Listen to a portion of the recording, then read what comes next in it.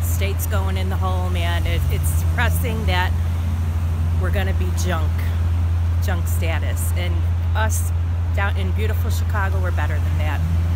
You said earlier, Time to we were talking, on. you said earlier that, that you're thinking of moving out of state. We are. We bought a foreclosure out west, and things are booming out in Las Vegas, and um, it's time to move. In the next couple years.